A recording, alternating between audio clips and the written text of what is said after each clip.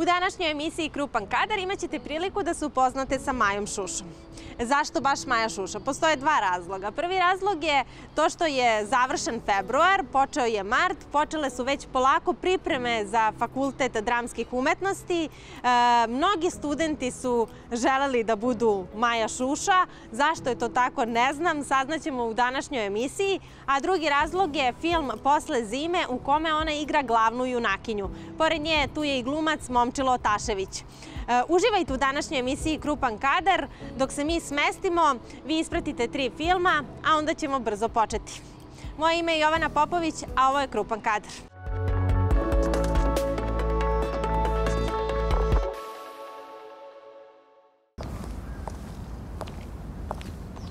Let's go party. Okay. Okej. Ha det. Ha det. Vi var ikke utro, da. Vi var ikke det? Vi var ikke det. Nei. Film Najgora osoba na svetu reditelja Joakima Trira najbolje je ostvarenje 28. festivala evropskog filma Palić. Triru je nagrada Zlatni toranj pripala za majstorstvo korišćenja svih elemenata kinematografije u dubinskom izražavanju psihologije ljudskih odnosa u savremenom društvu. Ending the game is like changing the Ja, selvfølgelig.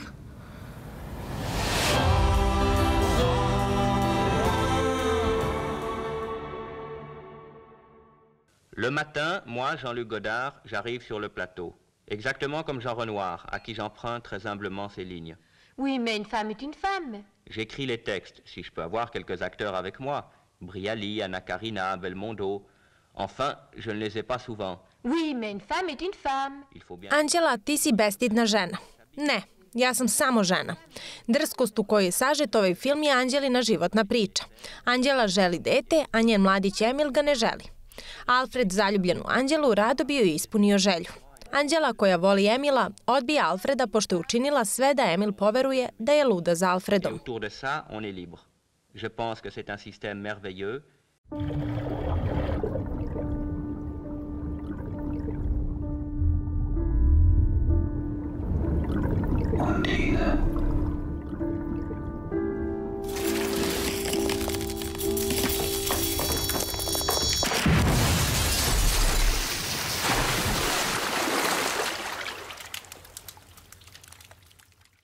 Naslov Undine je mitološkog porekla i odnosi se na vodene nimfe iz grčke mitologije. Ovde je to ujedno ime glavne junakinje koju igra Ber. Ona radi kao kustos u muzeju koji turistima predstavlja eksponate, makete Berlina i govori o arhitektonskoj istoriji grada i njegovim građevinama. U momentu kada je upoznajemo, glavna junakinja proživljava jedan od loših dana. Zbog nove ljubavi ostavlja je dečko. Undine mu preti smrću, ali čini se da posle toga sve zaboravlja, jer i u njen život ulazi nova simpatija, Ronilac Kristof.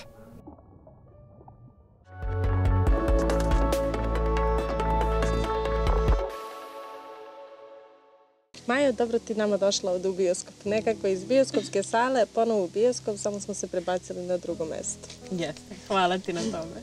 E, hvala tebi što si uopšte pristala da posle premijere razgovaraš, a ne uživaš u nekom koktelu. Biće vremena, ništa ne brinem.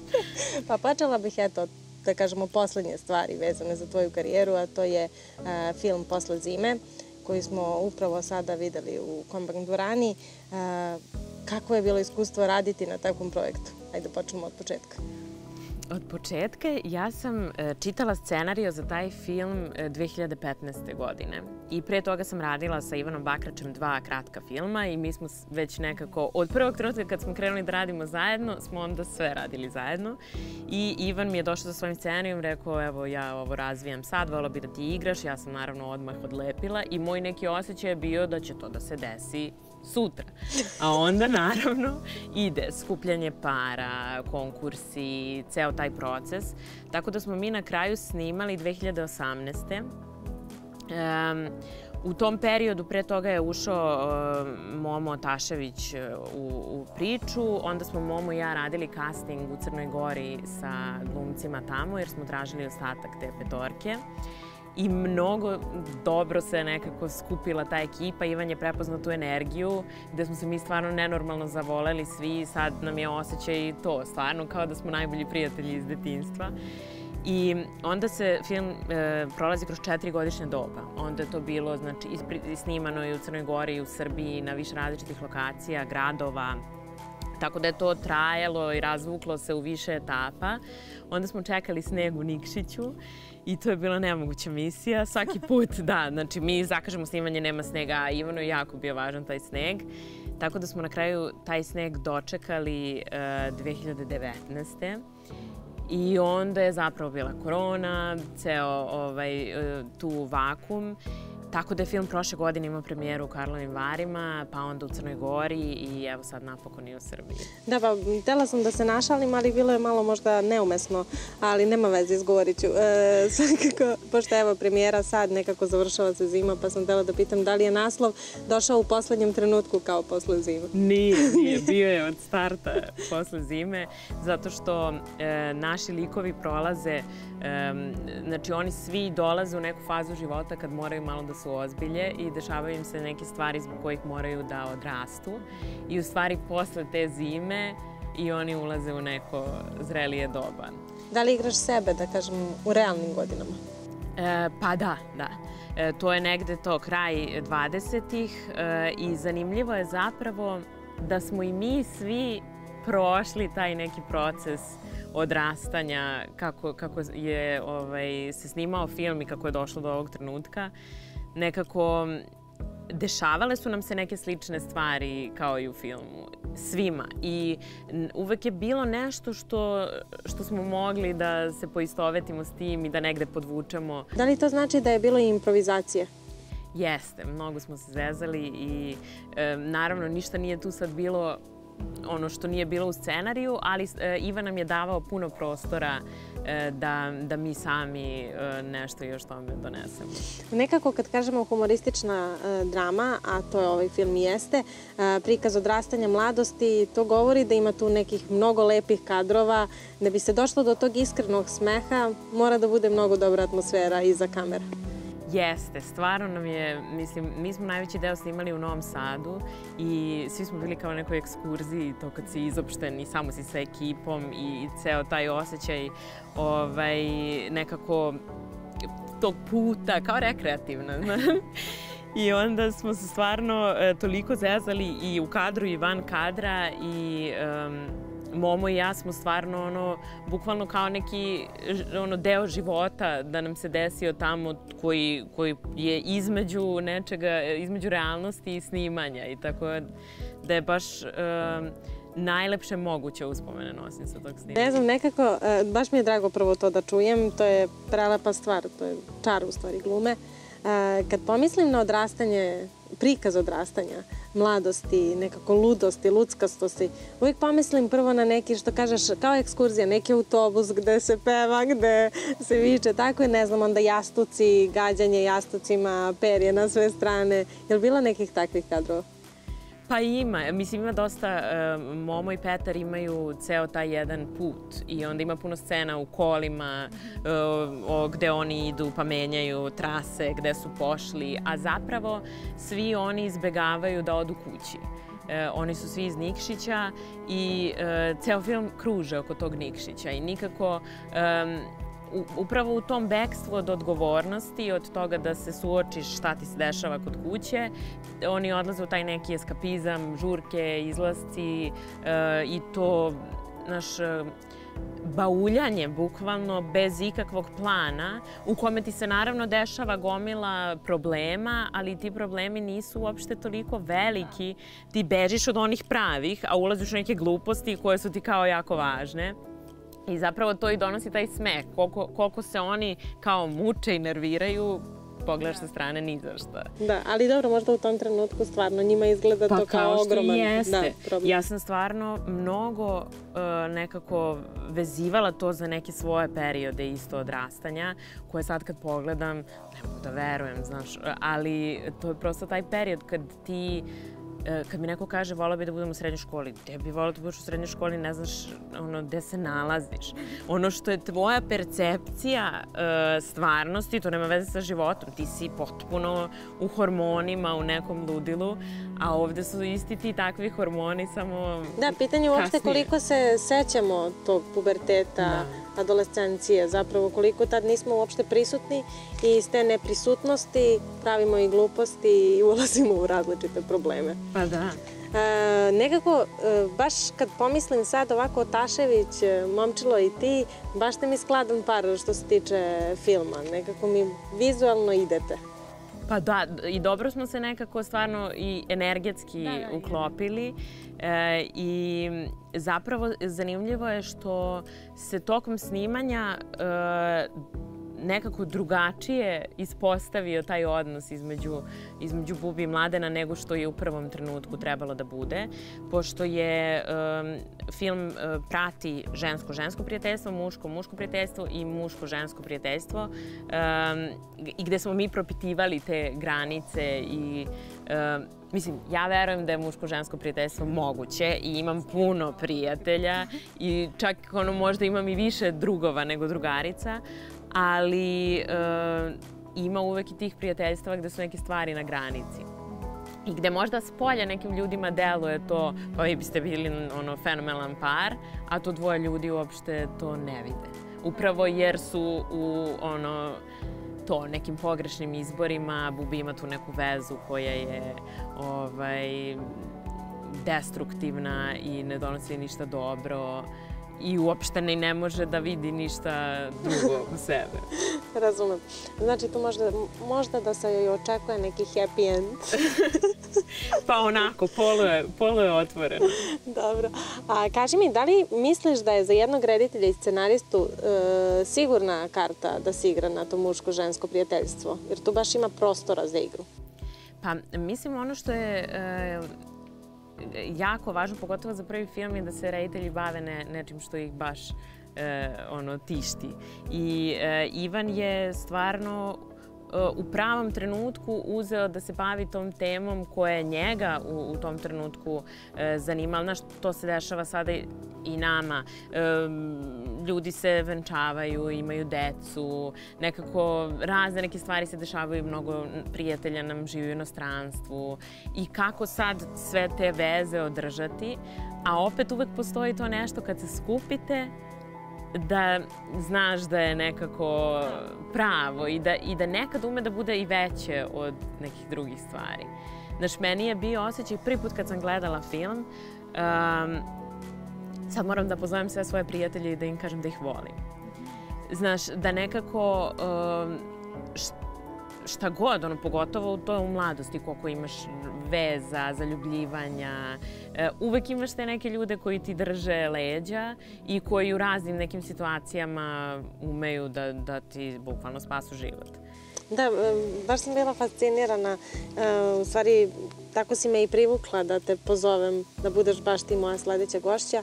Kada sam videla, kada si stavila fotografiju na Instagramu tebe i momčila, gde si na neki, da kažem, jednostavan način pozvala ljude da pogledaju film, a s druge strane baš si pokazala prijateljima koliko ti znače i na koji način u stvari prijateljstvo treba da opstaje i da traje.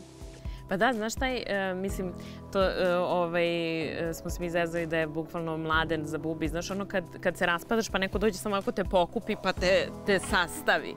I to se bukvalno dešava jer on dolazi iz Beograda u Novi Sad kod nje da je, da je sredi. I, ovaj, a mislim i mi svi u životu smo imali situacija kada ti neki ljudi bukvalno ono, spasu život. Da, i još ako je to, da kažemo, pravi prijatelj koji će trajati večno, to je onda pun pogodak. E, Majo, želiš da pogledamo možda kako je bilo na, da kažemo, otvaranju festa, pa da se vratimo? Kako da ne? Ja nisam stigla da dođem, pa taman da vidim. Bilo je zanimljivo. U Beogradskoj Kombank dvorani svečano je otvoren 50. jubilarni fest pod sloganom Novi hrabri svet i trajeće sve do 6. marta 2022. godine u 12 bioskopskih sala Beograda. Ja se noćam kao da imam 50 godina još malo do, te brojke, ali uh, se osjećam jako dobro jer svedočim 50. festu, ja nisam bio tu, nisam se rodio kad je bio prvi fest, nisam siguran da ću biti tu za stoti fest, tako da treba da iskoristim ovaj trenutak što je bolje moguće, i ja i svi ostali. Zbog čega je slogan Novi hrabri svet? Pa zato što je slogan prvog festa bio Hrabri novi svet, a evo sada kada čekamo 50. fest, svedoci smo da će svet posle korone biti nov, drugačiji i da će trebati hrabrosti da se u tom svetu i ostane i opstane. Tako da smo napravili jednu malu igru reči, a i kao omaž prvom festu i kao refleksiju trenutka u kome svi živimo. Da li to znači da sa 50. zatvarate i otvarate novo poglavlje 51. Ja se nadam da da i ako postoji trenutak u istoriji festa kada, je, kada se stvaraju prilike da se nešto još promeni, da se festival još više unapredi, da se možda utaba staza za narednih 10, 20, 30 godina, onda je to trenutak posle 50. festa i kada završimo 50. fest, mislim da ćemo sesti, razmisliti, promisliti i izaći sa, sa nekim idejama kako fest treba dalje da se razvije i u kom pravcu treba da, da ide. Čast da otvori 50. jubilarni fest pripala je reditelju Stefanu Arsenijeviću uz film Strahinja Banović. Velika je čast da otvorimo fest, a pogotovo 50. nekako je veliko uzbuđenje. Čuda se dešavaju i stvarno iz ovog filma stoji jedan veliki, veliki rad, dugogodišnji. Neki divni ljudi su radili na njemu e, i eto, mogli smo samo se nadamo, nekad stvari uspeju, nekad ne, ovog puta su stvarno uspele. Kako onda možete da kažete posle dugogodišnjeg rada čuda se dešavaju? Pa čuda se dešavaju zato što nikad ne znate kad će neko da se pojavi iza vas. Nikad ne znate da li ćete budete sami u kadru ili će neko da dođe. Ali se nadate najboljem, da će taj neko da bude dobronameran, nadate se da će sve biti, mislim, kada radimo film, radimo najbolje što možemo, posle toga on je nekako na publici, na žirima da vide da li ovaj, će im se to svideti ili ne. Svi koji ste e, čitali u osnovnoj školi pesmu, znate da je to pesma o, o, o praštanju i, i mislim da živimo u nekom vremenu u kome je jako važno da se setimo kako je to oprostiti. Čini mi se da smo zaboravili jer svi jurimo e, za svojim nekim ciljevima, za svojim komforom, e, svi smo individualisti, svi smo samo sebi važni. Mislim da je sad krajnje vreme da se malo okrenemo i da razmislimo ljudima oko nas i da čak i e, ljudi s kojima nismo dobri da razmislimo kako je njima, da se stavimo u njihovu poziciju. Mislim da je to glavna poruka i pesme i ovog filma, neka empatija, e, ljubav i opraštanje. Zove sluge i k sebe prizivlje. Sluge moje, hitro pohitajte. Sedlajte mi od Megdana Đoga. Okitite što ljepše možete. Opašite što tvrđe možete. Jel ja, djecu, mislim putovati? Where is she? Did you guys have Babu? Ovo je, ja mislim, jedan od najuspješnijih naših filmova koji će biti u 21. vijeku. Na kraju čovjek je bio i kandidovan za Oscara. Da je to jedan talentovan čovjek, mlad, uspješan već, koji kada e, zna šta hoće, sa njim je vrlo lako sarađivati, a on to uvijek zna. I ekipa je bila savršena, skupljena je sa svih strana, od Ibrahima Kome, koji sada igra 80 dana, put oko svijeta za 80 dana, do sirijskih glumaca, do nas. I bilo je savršeno snimati prosto jedno zadovoljstvo glumačko, jedan umjetnički film a, koji je pravljen pametno, bez pretenzija, a pretenduje na velike stvari, koje je već uradio i koje je na putu da uradi. Arsenijević će zablistati još više. Znate li vi koliko smo mi ljudi imali da sjede u Kodak teatru ili gdje god u Americi ili Greek teatru, da, da sjedi u publici i čeka Oscara, kao što je imao Stefan nekada. To su činjenice koje nama promiču, a takvi ljudi treba da dobiju šansu ne svakih četiri godine da snime film, nego to god imaju snage svake godine ili svake dvije godine. I tome treba voditi računa, pogotovo posle ovih velikih njegovih uspjeha u Karlovim Varima, a na nama je da ne slažemo ovom filmu, da budemo najrealističniji mogući, jer ovaj film se bavi istinom i mučenim ljudima. Ovo je priča mi u svijetu, šta smo mi na tom prolazu, na tom koridoru mučenika i koliko smo spremni da prihvatimo te ljude, da im oprostimo ako su nešto loše uradili i oni nama ako smo mi bili loši prema njima.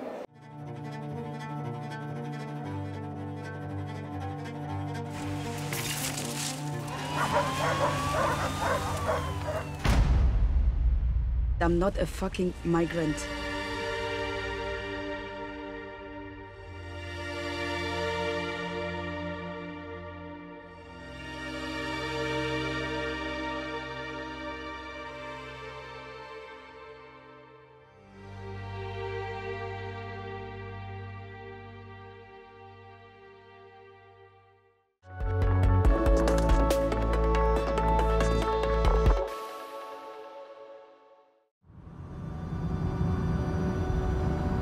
Nemamo mi para za exit. Sad su full cijena čoveče. Nama treba masu para za gorivo. Smislit ćemo nešto. Dobro si se sjetila da zovneš. E, jesi ti okej? Malo sam se bacila na razmišljanje. Za promjenu. Marija, dečko je kreten. I srećan rođendan! I za Janu. I prvo da vidimo šta pijemo. Možeš sad da me ne smaraš, nego samo da me poslušaš i da svratimo na jedno mjesto. Može. Rokate se vi ovako često. Dođi, Dačo. Gledam vijesti. Dobro, ne baš često, ali... Voli vas kurac. Daj, prekinite više. Važno. Ej, bre!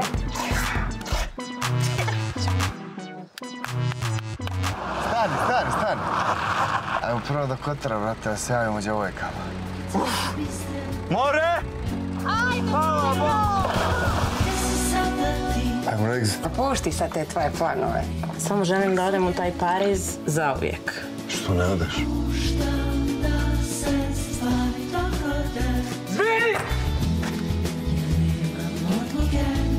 Pa nismo ni mi baš tako mladi više. Ide mi se kući. Kojoj kući? Jel puklo? Nije. Nekako nije mala stvar. e, Ovo je premijera tvog novog filma, e, filma u kom ti igraš, ali s druge strane prikazan na festu koji je jubilarni. Čini mi se da je to baš onako velika stvar. Pa lepo je, stvarno. Ja sam e, veliki fan festivala generalno i e, mislim da Mislim, fest je za mene imao jako važnu ulogu u odrastanju i e, uvek je bilo to, beži se iz srednje škole te nedelje kad je fest i gleda se po 3, 4, 5 filmova dnevno kako možda preživiš. E, I uvek sam imala to manijakalno gledanje filmova na festivalima i neka potreba da, da sve vidim, ali s druge strane su, su mi stvarno ti filmovi značili, inspirisali, lečili, zasmejavali, šta god. I onda na faksu e, smo volontirali na festu, naravno, jer nam je to bio način da to kao dobiješ akreditaciju pa da možeš da gledaš sve te filmove. E, I onda nekako jed, jedno vreme sam radila e, kao voditeljka na festu i nekako stvarno ono, volim taj festival, pogotovo od kad je e, Jugoslav Pantelić postao umetnički direktor, donao je mnogo genijalnih stvari u fest i baš mi je drago što, što je film baš tu. Nekako da sam, da sam se ja pitala, to bi bila moja odluka. A da se sada pitaš i da imaš pravo izbora, koji bi bio film tvoj favorit? Na festu? Pa, e, ne mogu da kažem da sam pogledala puno, e, ali mogu da preporučim par filmova. Gledala sam e, zvaničnu konkurenciju sa Penelope Cruz i Antonijom Banderasom i jako me ono, zasmeo film koji se baš bavi našim poslom. Ona igra ovaj, rediteljku koja režira film s dvojicom glumaca koji su iz potpuno različitih priča i to je sve, ono, prepoznaješ ceo proces rada i baš mi je bio super. E, mislim da svakako ljudi treba pogledaju e, Strahinju Banovića, iako ja još uvek nisam, ali radujem se da ga pogledam uskoro, e, s obzirom da stvarno od svih ljudi čujem da je, da je fenomenalan film. I e, ima još par ovih nekih domaćih, e, sutra su heroji radničke klase, to se radujem da gledam. Da, odlično. M, svakako, eto, da pozovemo i publiku da pogleda i vaš novi film. A, pored e, festa prikazivaće se posle zime i gde još? Pa sad na festu ima još e, tri projekcije. E, u petak jedna i u subotu dve. Za subotu znam da su termini kinoteka pola sedam i Kombank pola deset. Ali će biti u bioskopskoj distribuciji posle festa, ne znam tačno da li odmah ili nešto kasnije, ali svakako se planira i to. Lepo. A, kada bih sada mogla da, pošto ja bih dala sebi slobodu da uporedim a, tebe i Otaševića kao glumce sa Mladenom Soviljom i Hanom Selimović, nekako ti si učila i tu školu što bi se rekla, ali e, to je ta neka e, vrsta igre tog odrastanja. Slobode, Slobode, da. da. I baš mi se to dopada.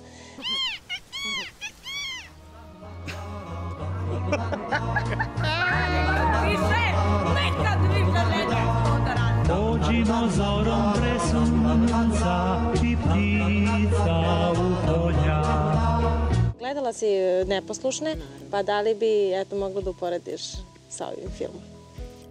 Jako volim Neposlušne i Minu Đukić, rediteljku i jedva čekam njen sledeći film. Um, mislim da ima neke sličnosti upravo to što si rekla, u toj slobodi, u toj igri i što takođe i, i Hanin i Mladenov lik e, u Neposlušnim se ponašaju mnogo nezrelije u odnosu na svoje godine. I to jeste isto negde priča o tom odrastanju e, i, i nekim situacijama koje te nateraju na to i toj potrebi da ti kao nešto produžiš ovaj, to, tu mladost nekako. E, tako da mož, mogu da kažem da možda to kao e, emotivno, energetski ima nekih sličnosti. I um, ja čekam da Hana i Mladen gledaju film. E, sad moram da te pitam. E, evo, konkretno, Momčilov e, lik se zove Mladen. Da. A, kada, piše se, kada se piše jedan scenario, koliko je važno to ime u scenariju? Pa sigurno jeste, da. Mislim, nije, znaš, ali nije to je kao opet sad, nešto... ne znam, Goran Draga, nego baš Mladen, a priča je o mladosti. E, ti si opet Bubi, znaš, nekako malo, simpa, onako skroz, verovatno ima veze. Da, pa im, mislim sad to su i asocijacije, dalje super je ovo što, što si primetila. Um, ja mislim, na primjer, da dosta tih stvari ide nekako intuitivno i ti pomisliš i kao a sem ako ne želiš baš da napraviš neku jasnu referencu. E, I ne znam da li je Ivan o tome razmišljao o, na taj način. Ovaj, mogla bi da ga pitam. Ali e, meni su sada ta imena to je to. Ja kad njih vidim, oni su meni stvarno Marija, Jana, Dača, Mladen. Gledaš ljude inače tako? Da li te, ne znam, podsjećaju na neko ime ili boju? I... Pa desi se i da se iznenadiš, znaš, da neko uopšte nema veze sa svojim imenom. Pa da, Znaš, te- te i onda ga uporno stvari. nazivaš drugačije. Da, ali da, da, da. da. Da, ja imam inače problem što gledam ljude kao životinje. I Da, onda da, tako vidim životinje. Vidi se svašta. da. E, Da se vratimo, e, Hana Celimović i Nebojša Dugolić su bili, da kažemo, tvoj profesor i asistent. E, Šta je to što, čega se uvek setiš kad zaškripi? Ja se uvek setim, i ne samo kad zaškripi, Dugalićevo glavno nije gluma što i poljem preći. znači, koliko je nas to nerviralo.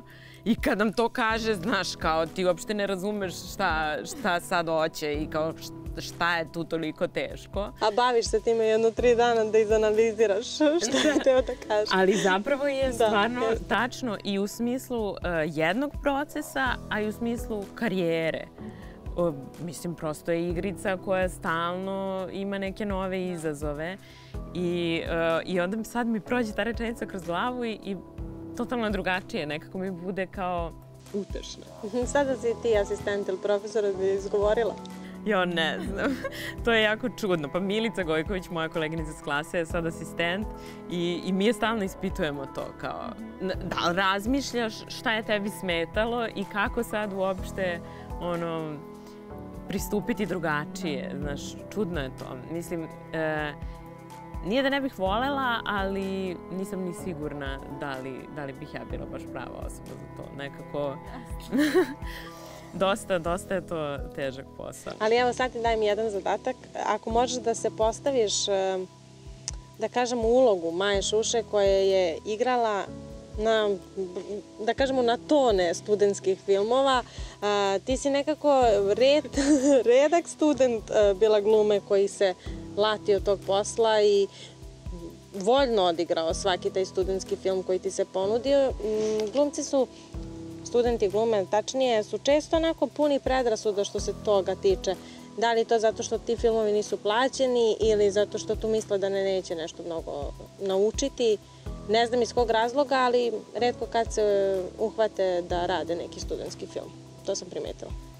Pa znaš šta, čudno je, zato što pošto ja sad gledam te sve kratke filmove za, za Bašta Fest, um, mislim da se ljudi negde možda nekad i plaše jer nemaju poverenja u te druge studente, pa misle napravit ću nešto gde ću se izblamirati, gde će biti glup film i kao da ima možda i toga, a ovaj, i verovatno možda je nekom cimanje, možda se ne osjeća da, da mu to nešto doprinosi, ali sa druge strane, meni je u tom trenutku bilo kao hoću da snimam to, mislim, snimam, mislim, kao i sad, iako postoje neke stvari, naravno nisam prihvatala sve, ali bilo je e, nekako dosta u tom trenutku studenta režije koji su želi da rade sa mnom, sa kojima sam se kapirala i bilo nam je super da sarađujemo.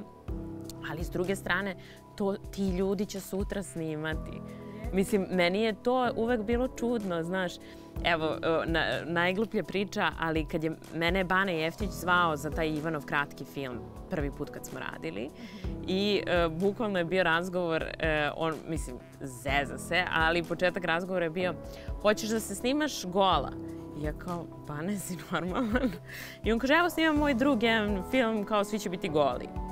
Mislim, zvuči ono, ne. I ja, ja mu kažem, ajde da, ajde da se nađemo pa da vidimo čemu se radi. I ja onda upoznam Ivana koji je ono dušica, jedna naj... Uopšte to što bi zamislio prvo iz ove banetove priče nema veze s tim čovekom.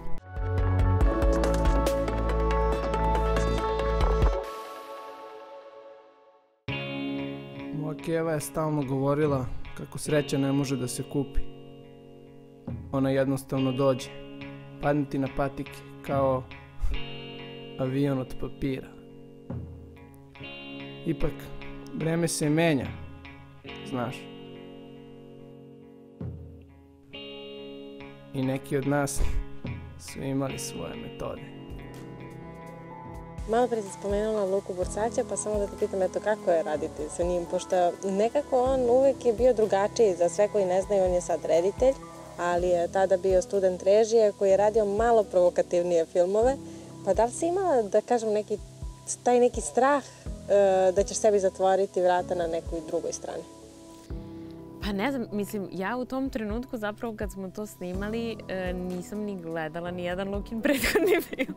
Tako da nisam ni mogla da znam šta, šta me čeka. S obzirom da je to bio njegov e, ispitni film druge godine, Serotonin.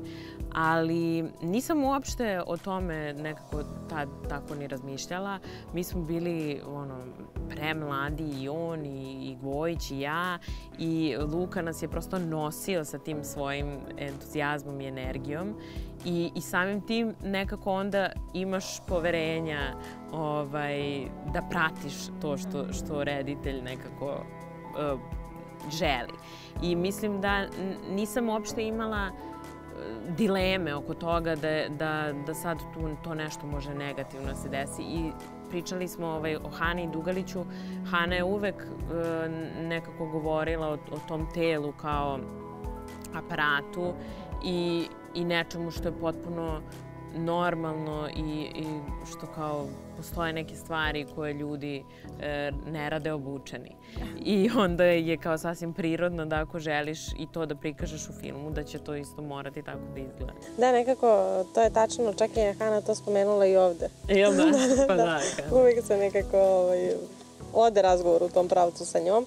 A, ali eto, Luka Bursać stvarno je ulivao poverenje i ja kad sam radila s njim uvek mi je bilo nekako lepo, ušuškano, sigurno se osjećaš i on kaže u vodu, u vatru, ideš i šta ćeš i mislim da je tako bilo i sa vama kad ste radili? Da, e, ovaj, mi smo imali tu neku scenu koja, e, koju smo snimali u Dunavu I mi smo bukvalno kao, pa dobro, kako ćemo to? Nijednog trenutka nije bilo kao, e, ljudi, znači, neću ulaziti u Dunav u februaru, ne pada mi na pamet. Nego je samo bilo kako, šta ćemo da, da, kako da rešimo tu situaciju, koja je suštinski stvarno bila suluda. Jer smo mi to snimali ne, na nekom malom prostoru gde smo dolazili čamcem. Znači, šta god da bi se desilo, ne bi moglo ni da se reaguje nekako brzo, a kao ti ulaziš u ledenu vodu bez ikakve svesti o tome da kako će tvoj organizam da reaguje na to. To su mi rekli da namažem svinsku mast, da to mažu ovi kad plivaju za časni krst i te stvari. Znači, ne znam da li radi ili ne radi. Ove, ovaj, mi smo se smrzli živi, ali nekako i, i dalje nismo se razboleli, to smo snimili i to je bilo neko suludo iskustvo, ali je bio taj osjećaj kao ok, znamo ovo što, zašto to radimo i mislili smo da ima smisla. Prosto Luka nam je napravio taj prostor neki slobode i sigurnosti da možemo da se upustimo u tako nešto. Ti si nekako uvek bila, da kažemo, e, mrvicu e, samouverenija od ostalih studenta, čini mi se. Ili smo te mi ostali tako doživljavali. Ali e, odakle ide ta sigurnost? Pa, ne znam. Mislim, sada kad pogledam, ja mislim da ja sigurno tada nisam bila samouverena i da to možda i tako delovalo iz tog nekog osjećaja e, kao koliko je to što mi sad radimo važno. I, ovaj, I znam da Slaven mi je isto uvek govorio, pošto su oni bili generacije ispod nas, ti i Milica Gojković kad dođete u crnom i kao sednete da gledate, to je strašni bukvalno sud. strašni sud. da. Ali zapravo je stvar u tome da ti kao student mnogo to sve doživljavaš ozbiljno i ne, zna, ne znaš šta znači jedan proces i koliko tu problema i situacija ima. I onda kad vremenom prolaziš kroz neke različite procese, shvatiš da mislim, stvarno, samo napraviti jedan film i predstavu je već podvig i da ništa od toga ne treba gledati sa nekim uh, to kao traženjem greške, nego se sad ono, mnogo više radujem kad ljudi bilo šta urade i potpuno gledam s drugačijim odnosom nego tad.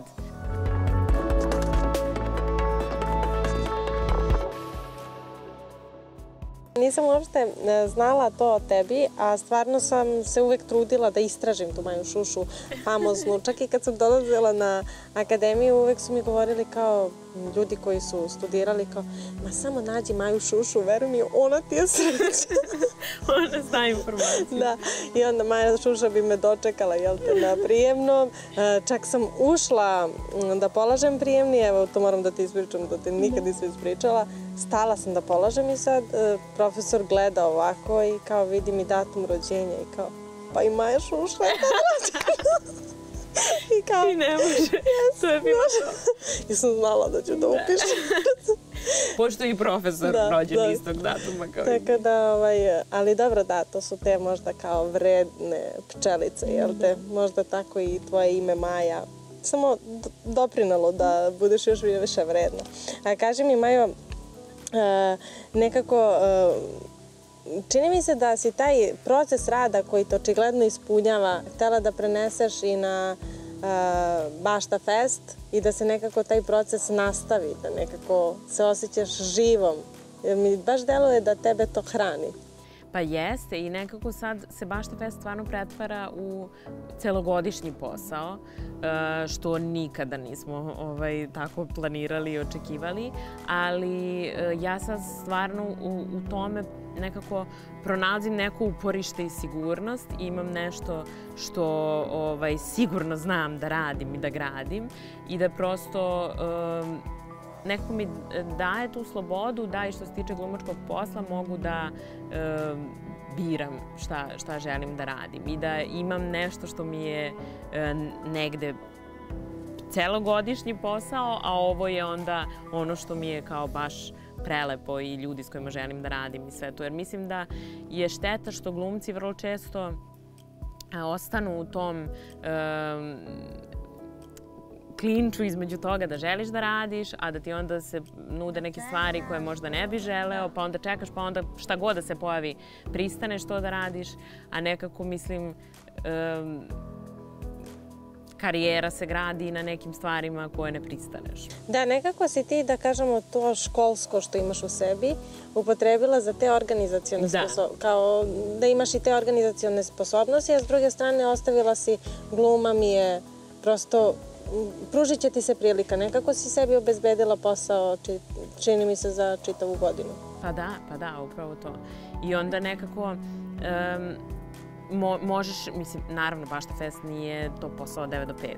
To je prosto neka druga vrsta posla, tako da ti imaš prostora za sve drugo i nekako e, čini mi se da tek sad dolazi vreme gde će se tu još širiti na neke razne stvari, jer stvarno festival raste i mi se trudimo da to sad nekako podržimo na sto strana. Ove godine smo se prvi put upustili u neke još nove vidove finansiranja, konkursa, ovoga, onoga, tako da baš imamo osjećaj kao da svašta nas još čeka sa tom celom Evo sad ove godine deveti Bašta Fest. Da li se već priča o onom jubilarnom desetom? Kako ne, kako ne. Znači, Jovan i ja smo pre jedno dve godine pričali gde ćemo da pravimo žurku za deseti kao povodom desetog festivala.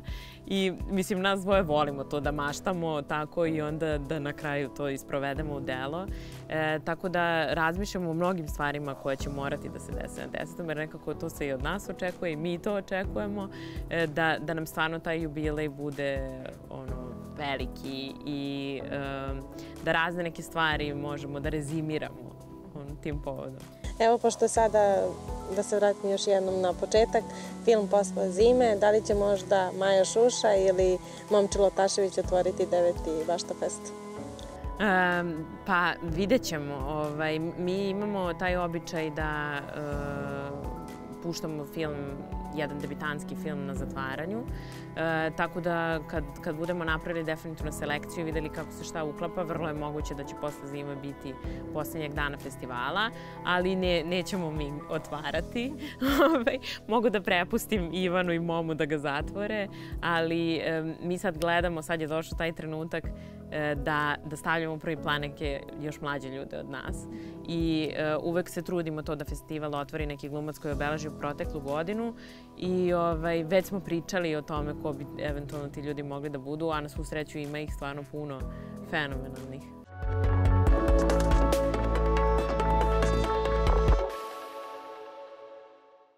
Niste došli, Niste došli zbog toga. Niste. No, no, no, no, niste došli. nije Vidim po očima vidim da niste. Zašto ste došli? Toga. Nego? Jer došli ste da se nas zamejete. Da se ovo pustite da zaboravite. Kao jedan od najigranijih i najpoznatijih komada u istoriji srpske dramaturgije, Sumnjivo lice se u široj javnosti percipira kao laka i bezbrižna komedija. U ovoj postavci postavlja se pitanje o kritičkom potencijalu ove komedije. Umesto lakoće i razbibrige, ova predstava tera vas da se zamislite. Ova verzija Sumnjivog lica jeste predstava po komadu, ali i o komadu Branislava Nušića koji se nalazi na spisku obavezne lektire za učenike i učenice svih osnovnih škola u našoj zemlji. A pre nego što je razrađen na daskama koje život znače, stajao je 36 godina u fioci. Koliko su se promenili, da kažem, Nušićevi dani od današnjeg dana?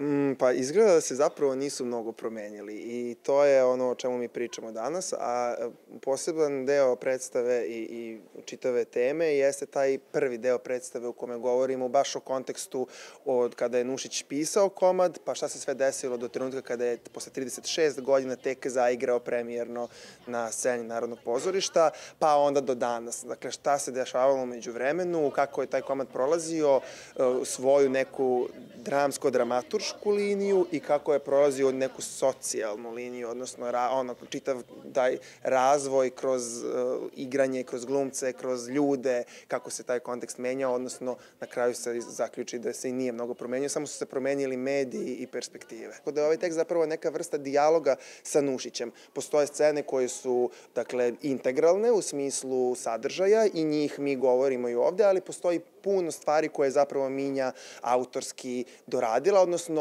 nadgradila, tako da je ova predstava u tom slučaju i kontekstualno danas komunikativnija i bliža na našem vremenu nego što su likovi koje je Nušić sam napisao. A zašto baš sumnjivo lice?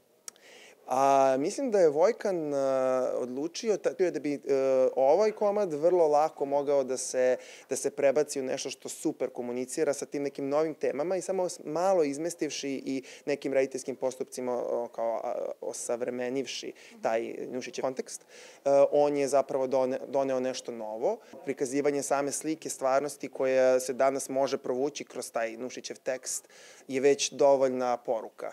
U smislu da hajde ljudi da nešto iz tih klasika i od tih klasika učimo i da prosto ne ponavljamo i evo već vek kasnije iste stvari samo u malo drugačijem ruhu. Koliko se ova predstava razlikuje od ostalih predstava Reflektor teatra? U suštini se ne razlikuje zato što uh, neka poenta koju predstave Reflektor teatra nose, uh, prosto ta linija neka postoji ovde ali mislim da se razlikuje zato što je e, zapravo, e, čini mi se, jedina od predstava iz reflektorovog repertoara koja je zapravo e, nastala po motivima Nušićevog sumnjivog lica i ima dosta implementiranog toga, a onda smo mi nekako nekim dramaturškim rešenjima je Minja taj tekst prilagodila i nekako ga podigla na taj nivo da zapravo neguje tu i estetiku i tu misao koju zapravo reflektor teatar nekako ganja od svog nastanka.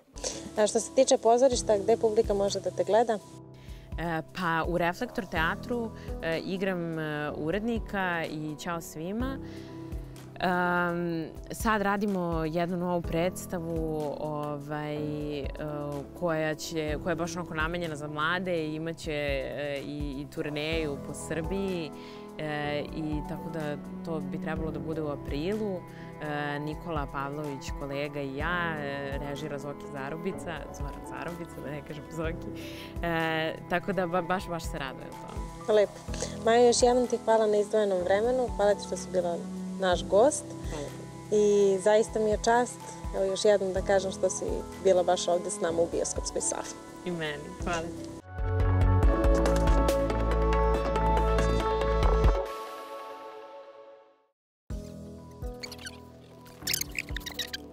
priča o filmu, glumcima, rediteljima, dramaturzima, filmskoj industriji. Takođe pratimo i dešavanja u našoj prestonici. E, evo, trenutno se odigrava fest. E, nadam se da ćete otići posle ove emisije, ako već niste, da odgledate i neki kvalitetan film na festu, a za koji dan da odgledate i film Posle zime u bioskopima. E, igrajte se na našoj Instagram stranici jer možda baš vi osvojite dve karte za dve osobe.